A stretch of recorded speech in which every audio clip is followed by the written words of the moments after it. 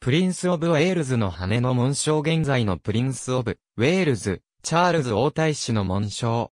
紋章中央にインエスカッシャンされている赤と黄金の獅子の紋章が、コプリンス・オブ・ウェールズ以来のプリンス・オブ・ウェールズの紋章である。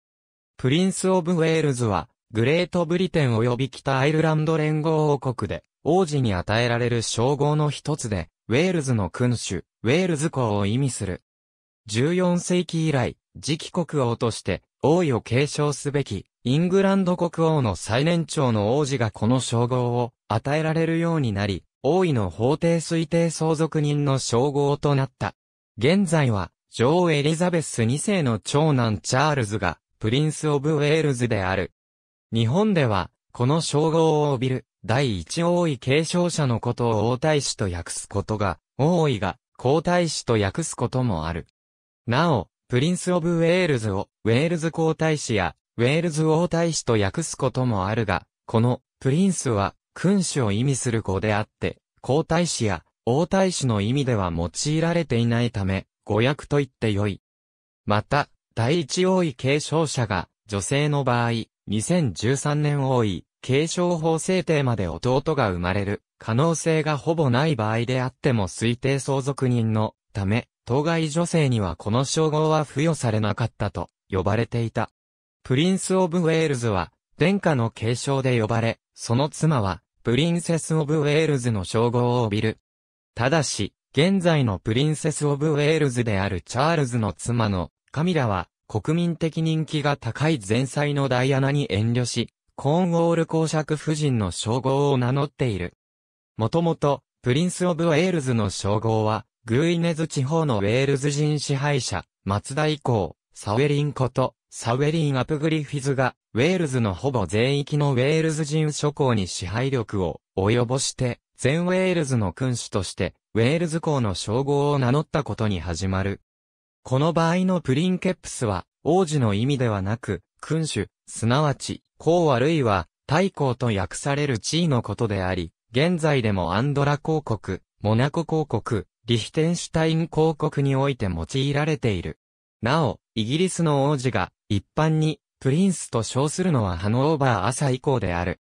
ウェールズ諸侯の名目上の主君であるイングランド王ヘンリー3世は1267年にサウェリンをプリンス・オブ・ウェールズとして承認し、ここにウェールズ公国が成立した。しかし、ヘンリー3世を継いだイングランド王エドワード1世は、サウェリンと対立、1282年から1283年のウェールズ侵攻で、サウェリンを廃止に追い込み、サウェリンの弟、ダビズを処刑してその一族を滅ぼした。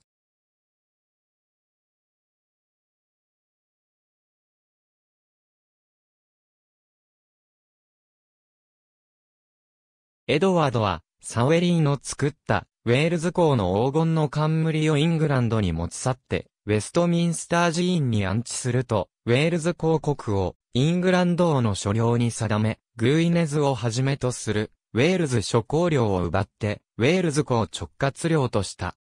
王宮所在地は、グウィネズのカーナーボン城に定められるが、1284年、ここで、エドワード一世の子エドワードが生まれた。1301年、エドワード一世は、ウェールズ人の反乱を抑えるため、王子エドワードにプリンス・オブ・ウェールズの称号を授けて、ウェールズの名目上の君主とした。このために、身重の王妃エリナーを当時ウェールズ侵攻の前線基地であったカーナーボン城に連れて行き、そこで王子を出産させたのである。エドワード2世をウェールズ人にウェールズ生まれの支配者として受け入れさせるためであった。エドワード一世は、ウェールズの諸侯に赤ん坊を見せて、ウェールズ生まれで英語を話さないと即位を認めさせた、という逸話がある。